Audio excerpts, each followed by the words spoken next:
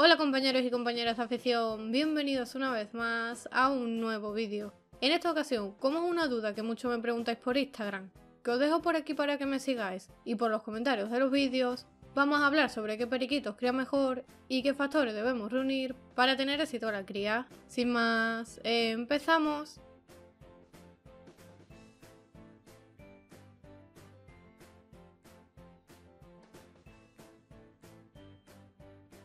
Los periquitos, por norma general, son pájaros exóticos que no suelen dar problemas a la hora de la reproducción. Es decir, si cumplimos una serie de condiciones y factores, no deberíamos tener problemas para criar periquitos de manera fácil y sencilla. No obstante, como la mayoría de especies de pájaros domésticos que tenemos como mascotas en los aviarios, a medida que los criadores vamos seleccionando determinadas características y mutaciones o colores en los pájaros, suele aumentar en una pequeña proporción la dificultad en la cría, ya que en vez de seleccionar a los periquitos por su forma de criar, es decir, seleccionar año tras año únicamente las descendencias de aquellas parejas de periquitos que hayan criado muy bien, la mayoría de creadores seleccionamos a los periquitos en función de determinadas características como pueden ser el tamaño, la forma, el diseño, la intensidad de los colores y demás, obviando en cierta medida el instinto reproductivo de los periquitos. Esto provoca que a la larga, sin darnos cuenta, estemos priorizando más por conseguir periquitos más llamativos y bonitos que por conseguir periquitos que críen bien.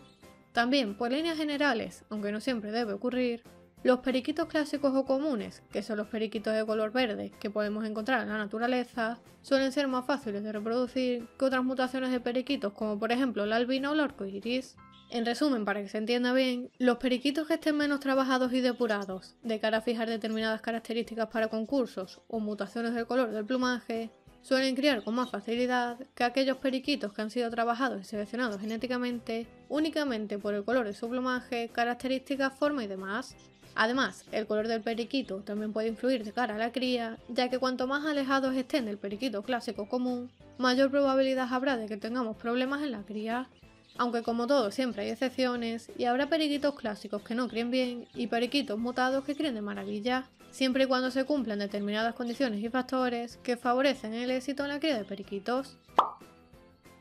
El primer factor que influye en el éxito en la cría de periquitos es la época en la que pretendemos criar con nuestros periquitos, ya que aunque los periquitos son pájaros que están perfectamente adaptados a la vida en cautividad y si se cumplen unas determinadas condiciones pueden criar durante prácticamente todo el año, no es recomendable hacerlo, ya que podrían aparecer problemas de salud en los pájaros a consecuencia del desgaste excesivo provocado por la cría. Por ello lo ideal es hacer como máximo dos o tres puestas en los meses primaverales en los que haya una mejor temperatura o que coincidan con la primavera austral, que es la estación natural en la que los periquitos crían en libertad. Al terminar este vídeo os dejo el enlace al vídeo sobre cuándo empezar a criar con los periquitos, en el que os explico con detalle todo este tema por si tenéis alguna duda. Indudablemente, la edad de los periquitos también influye en el éxito en la cría, por lo que siempre vamos a destinar a la cría periquitos y periquitas que al menos tengan un año de edad y que no hayan superado los 4 años, para que estén en pleno ciclo reproductivo y evitemos problemas de huevos atravesados, huevos infértiles, que los padres no den de comer a los pequeños periquitos, que los tiren del nido y demás. Y unido a este punto también es muy importante que a la hora de criar periquitos seleccionéis correctamente a vuestra pareja, eligiendo siempre aquellos periquitos y periquitas que estén fuertes y sanos y que no hayan atravesado recientemente ninguna enfermedad, descartando siempre aquellos periquitos que muestren síntomas de debilidad y aquellos que tengan algún tipo de anomalía física, ya que podrían morir durante la cría o podrían aparecer problemas relacionados. Por otro lado, la preparación de los periquitos para la cría es uno de los pilares fundamentales para garantizar el éxito, ya que no simplemente juntar una pareja de periquitos e inmediatamente querer criar con ellos, sino que previamente durante el resto del año es necesario que tengamos a los periquitos alojados en un lugar adecuado en el que se puedan ejercitar y mantener sanos y fuertes, que hayan tenido una buena alimentación y una limpieza adecuada para prevenir la aparición de enfermedades. Además, también es muy importante observar a los periquitos con frecuencia para detectar posibles problemas de ácaros o piojillos y de crecimiento excesivo del pico y las uñas que puedan perjudicar a su salud y que afecten directamente a la cría. Por lo que siempre, en meses previos a la cría, sin olvidarnos de ellos por supuesto durante el resto del año, es aconsejable desparasitar a los periquitos interna y externamente para evitar la aparición de ácaros rojos, piojillos y otros parásitos, y a la vez realizar un buen mantenimiento del pico y las uñas para garantizar un buen acople del macho con la hembra, que la hembra pueda voltear correctamente los huevos durante la incubación y por supuesto para que se puedan alimentar correctamente. Otro punto muy importante y que influye directamente en el éxito en la cría de periquitos es la adaptación al aviario y la confianza que tienen los periquitos con nosotros. Por ello, nunca debemos adquirir una pareja de periquitos e inmediatamente querer criar con ellos, ya que esto es un error común que suelen cometer muchos creadores principiantes, lo que hace que los periquitos no se reproduzcan o haya problemas durante la cría, debido a que los periquitos no han tenido esa fase de adaptación al lugar, a la alimentación y a nosotros mismos, por lo que puede que no se sientan totalmente cómodos y seguros y no confíen en nosotros. También, la jaula donde vamos a criar con los periquitos debe ser una jaula con unas dimensiones mínimas que permitan alojar cómodamente al macho y a la hembra y a las futuras crías, por lo que los creadores recomiendan utilizar una jaula de cría de periquitos similar a la que se utiliza para la cría de canarios una pajarera en la cual los periquitos puedan volar cómodamente para mantenerse en perfecto estado de salud y vivir cómodamente en pareja y junto a sus crías. Y otro aspecto fundamental es la ubicación de la jaula de cría, ya que no podemos colocarla en cualquier lugar de la casa del aviario, sino que debemos colocarla en un lugar en el que nuestros periquitos se sientan tranquilos, cómodos y seguros, y desde el cual ellos puedan controlar cualquier movimiento del aviario y estar alerta en caso de peligro para evitar sustos y sorpresas.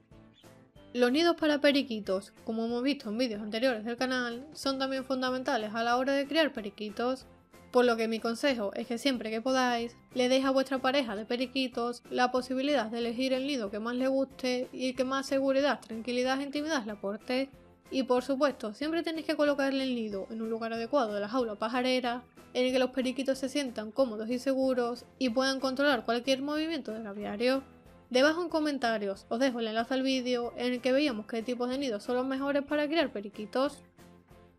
El factor número 8, que considero también muy importante en la cría de periquitos y en cualquier época del año, es la alimentación o comida que le aportamos a los periquitos en su dieta.